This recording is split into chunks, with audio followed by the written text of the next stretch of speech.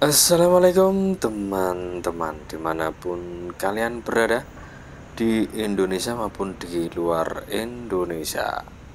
Jumpa lagi kita bersama saya di channel Kyoto Sudro. Oke teman-teman di video ini kita sekarang berada di zona timur di atap zona timur teman-teman ya. Uh, Sebelum kita mulai video yang lagi ada masalah uh, saya kasih kata-kata dari saya teman-teman ya.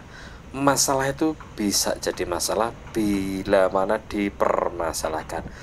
Tapi bila mana jikalau tidak dipermasalahkan ya tidak akan jadi masalah. Oke lanjut. Kita berada di zona timur.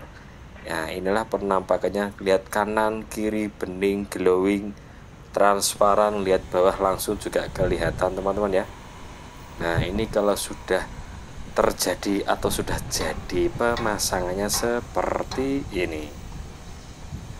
Nah, keren kan?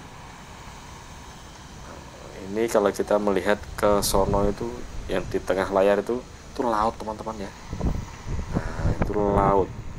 Dan penampakan juga atap buka tutup rangkainya sudah dapat separuh hampir penuh teman-teman ya. Nah kelihatan ya ya yang putih ada garis-garis itu.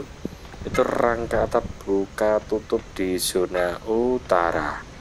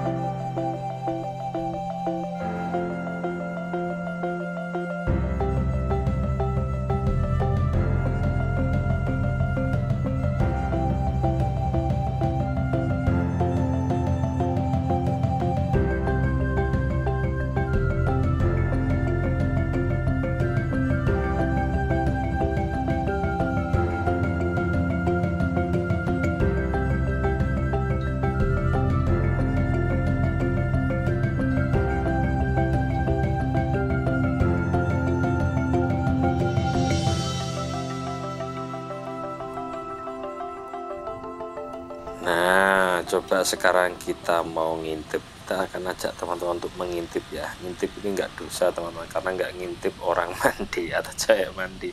Kita ngintip di bawah stadion kalau dari atas ketinggian 70 meter lebih teman-teman. Terlihat rel ya, itu relnya ya, itu relnya yang buat uh, rangka atap buka tutup sudah terpasang. Tuh, itu ada teman kita menyusuri bukan rel kereta api ya tapi itu rel atap buka tutup. Penampakannya seperti ini teman-teman ya.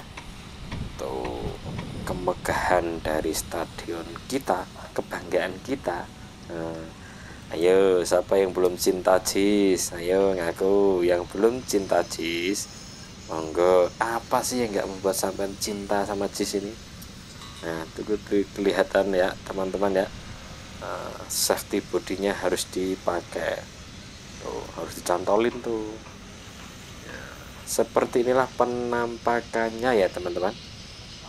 Nah posisinya seperti itu atau gambarannya seperti itu. Nah, kita masih uh, arahkan kamera untuk melihat glowingnya atau transparannya membran Etsy ini teman-teman. Danau cincin kelihatan. Nah udah tahu kan kalau danau cincin kelihatan itu posisinya di zona timur. Oke saya ulang. Kalau danau cincin ada danonya itu posisinya di zona timur. You understand? Canda teman-teman ya. Nah, kayak gini penampakannya Oh ya, saya juga ingin berpesan pada kalian semua yang menonton video ini. Eh, maaf ya teman-teman, saya selalu memberikan informasi yang terbaik buat kalian semua. Ini nggak ada unsur politik, tidak ada unsur eh, meninggikan atau merendahkan siapa pun. Yang jelas di stadion ini telah berdiri stadion megah di area Pampanggu di Tanjung Priuk, bekas Taman BMW terjadi atau sudah jadi uh, Stadion JIS Jakarta International Stadium. Oke. Okay. Uh, mungkin uh, teman-teman juga banyak yang komentar ini uh, kaitannya dengan enggak saya enggak berkaitan dengan politik. Saya menginformasikan buat kalian semua bahwasanya di Stadion JIS Jakarta International ini atau di area sini sudah terbangun uh, jadi sorotan dunia ya. Nah, oke teman-teman, paham ya? Nah, inilah penampakannya flashing dari atap membran itu sendiri teman-teman ya. Yang kemarin sempat dicek hujan tuh ya ternyata kalau di sebelah timur sudah terpasang seperti ini. Nah, pasti ada tanya, kok uh, atapnya karatan? Belum teman-teman. Percuma disterilkan bila mana belum terpasang semuanya kalau sudah terpasang semuanya pasti glowing pasti steril pasti uh, kinclong lah ya. Itu teman-teman. Nah ini belum selesai semua untuk pemasangan flashingnya. Jadi ya mohon bersabar. Ini ujian. Jadi ya kita nikmatin prosesnya aja lah teman-teman ya. Jadi jangan ke bawah ke mana-mana. Nah, oke? okay? Sampai jumpa di video saya selanjutnya. Tetap semangat terus berjuang, nikmatin prosesnya. Assalamualaikum.